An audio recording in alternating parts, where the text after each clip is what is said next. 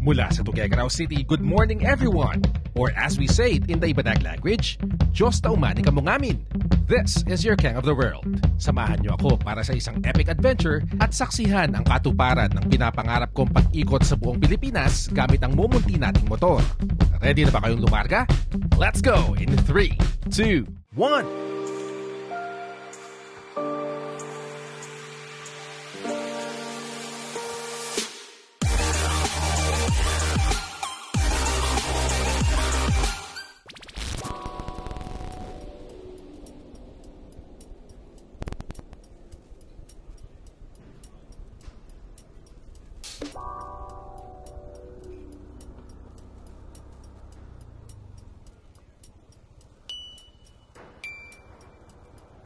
Okay, so we have filled up the form, the passport, got the receipt. Now it's just time to send the passport details to Ma'am Ables, Jack Ables, and we're good to go. Alright, so we can officially start our Philippine Loop Adventure Tour. Let's go! Medyo may konting jitters pa ako because this is going to be the longest ride of my life but also excited because this is grabe, pangarap to ng lahat ng riders. Whew! This is it! Opportunity of a lifetime. Time check, 521. I can't wait to see the beauty of the Philippines. Grabe. Motorcycle from Tuguegarao to Mindanao. Yan po ang ating uh, hashtag. Yan ang ating theme ngayon. At hanggang ngayon, parang hindi pa rin ako makapaniwalang inuumpisahan na natin to. Goodbye, Tuguegarao City. See you in 21 days, more or less. By the way, today is January 21, 2024. Sabihin ko sana this is going to be our first long ride of the year pero hindi, nakadalawa na pala tayo. So this is going to be the third. And sabi nga nila, third time's the charm. Yoo-hoo! Third trip natin this year, Philippine Loop agad! Here comes the sun, do do do do. Here comes the sun, and I say it's alright. Welcome to Rojas Isabela. Ganda talaga ng sunrise, grabe.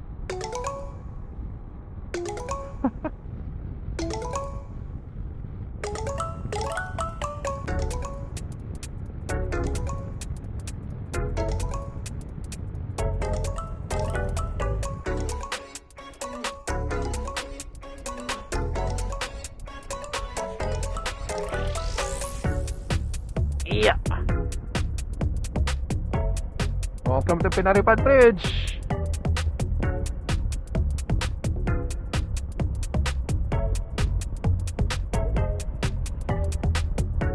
Ito yung right turn papunta yan ng Dandingan Viewpoint dito sa Nagtipunan Quirino. Amazing views going to and going from uh, the Dandingan Viewpoint of Nagtipunan Quirino. Panalo, panalong views doon.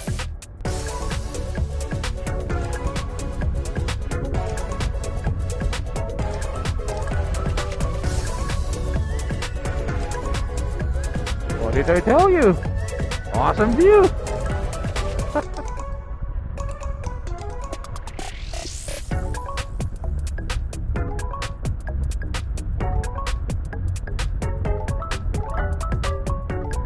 Sabi ganda.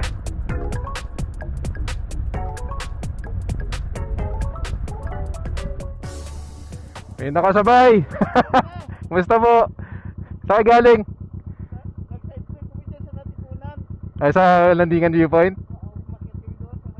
Oo. Pero papunta pa lang ako ng ano, ng Baler. Kaka, kaka-jump off ko lang sa Tugigaraw. Ah, okay. oh, day 1 ko pa lang ngayon. Day 1 ko pa lang. Oh. Saan kayo galing? Ah, ng Imus. Konti na lang. oh, ganda yan.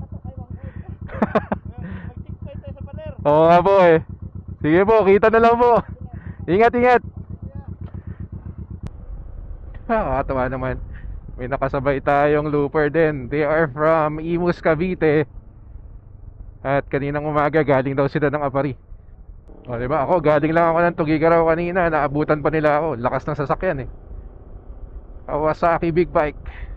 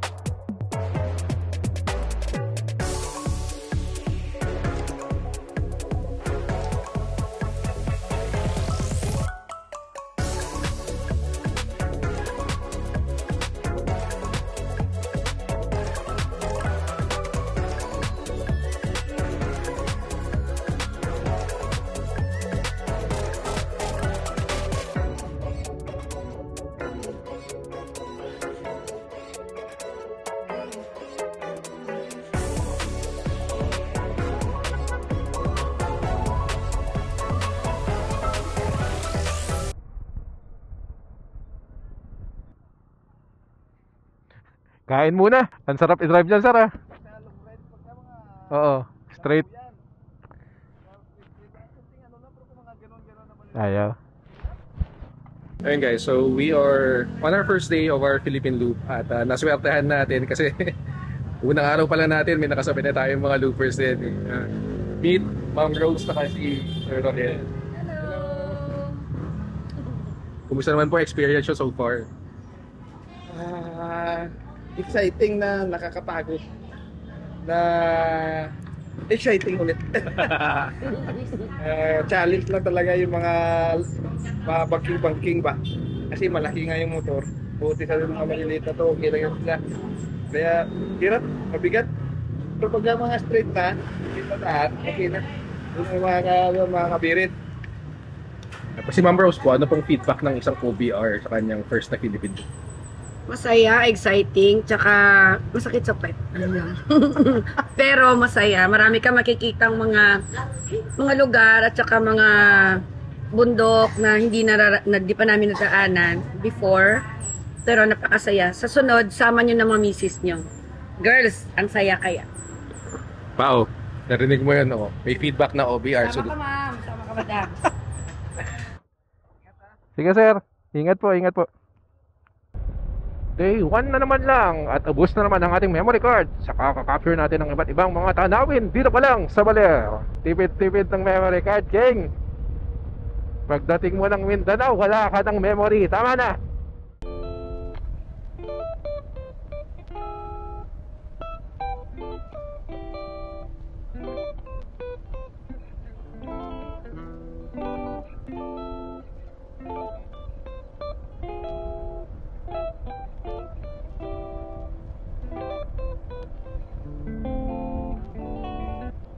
Dito na tayo sa Baler, guys. Punta lang tayo ng Aurora Provincial Capital para dun tayo mag-checkpoint. Welcome to the provincial capital of Aurora, here in Baler. Doña Aurora Aragon Quezon, dedicated wife and mother, outstanding civic and religious leader. Ayan po, ang capital ng Aurora. Picture is taken. Now we can proceed to Quezon City. Tingnan natin kung kaya ng katawan natin, kaya ng likod natin ng Quezon City. But before we proceed to Quezon City, hindi tayo pwedeng umalis ng Baler na hindi dumadaan sa kanilang Baler marker signage dito sa munisipyo. Here is Museo de Baler and the famous Baler sign. We are currently driving along the Maria Aurora Baler Road and we are headed to Pantabangan, Nueva Ecija. First time ko makikita ang Pantabangan Dam. Saka yung famous na lang one lane ano, one lane street. Baler Pantabangan Road is definitely easier than the Baler Maria Aurora Road. But what's good about the other route is you go through a forest. So it's much cooler than here, even at this time. Patama yung nakausap ko dati when I was traversing that route. Maraming curves pero hindi ka anong steep. Ito, less curves but much more steep than the Aurora Baler on Aurora Nueva Ecija Road. Thank you.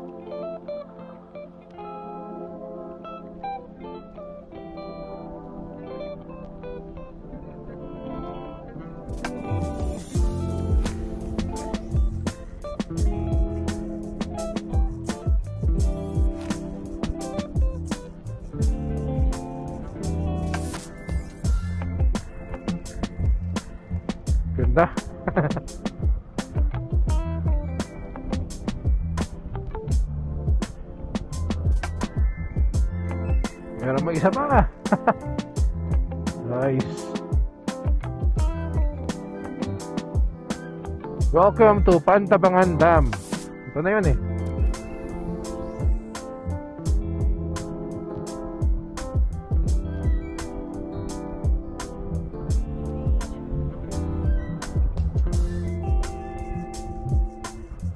Bayan ng Rizal, Nueva Ecija. Shoutout pala kay sir sa unahan. 296 PZT, ADV 150 ata. Di inaasahang ano, assist. Mabilis din siya eh. So, ang sarap sabayan.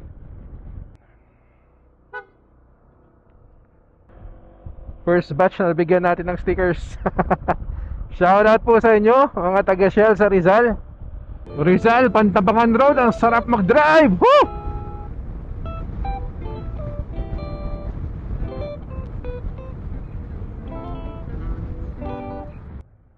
Welcome to Cabanatuan City! Ay, sige! Oo, nakakagaling ko ng baler. Hindi, et, galing ako ng Tugigaraw. So, pa, pababa pa lang ako. Oo, south muna ako. Sige, sir.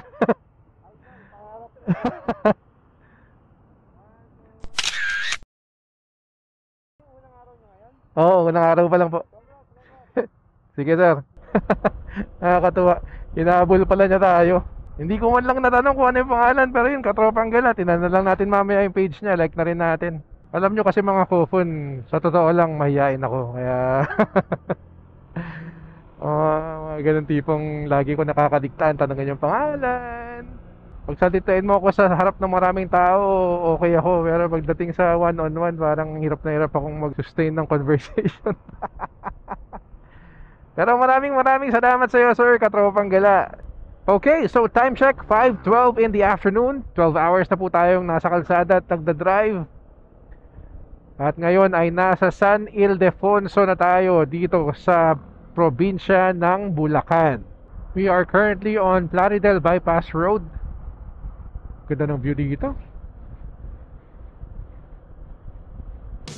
Scary. Maraming sasakyan. Sana naman, hindi ko kailangan daanan yung ganito sa Manila. oh, wala na akong boses. Pagod na ako.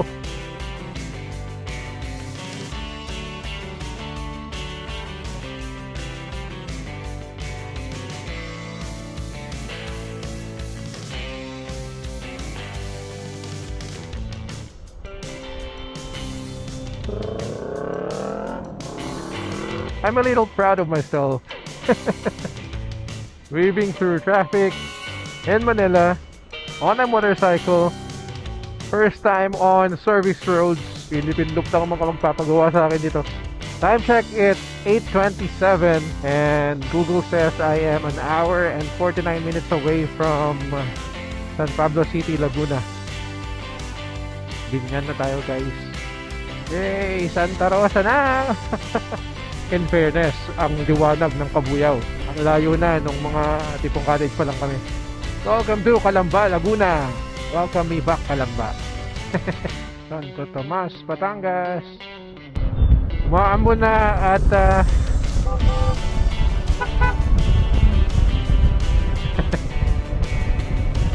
Shout out sa'yo, sir, kung sino ko man.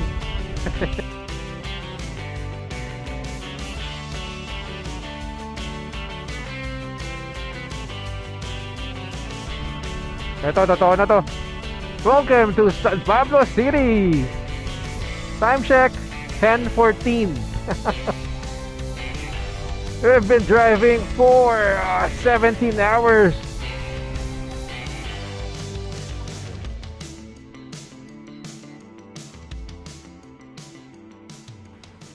Tao po.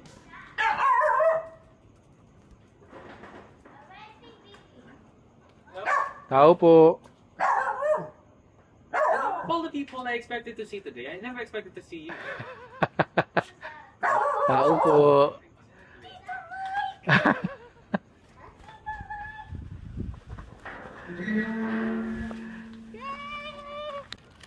Iyak po yung kapatid ko, ladies and gentlemen. Ano? Tapos uwi ka rin? Hindi.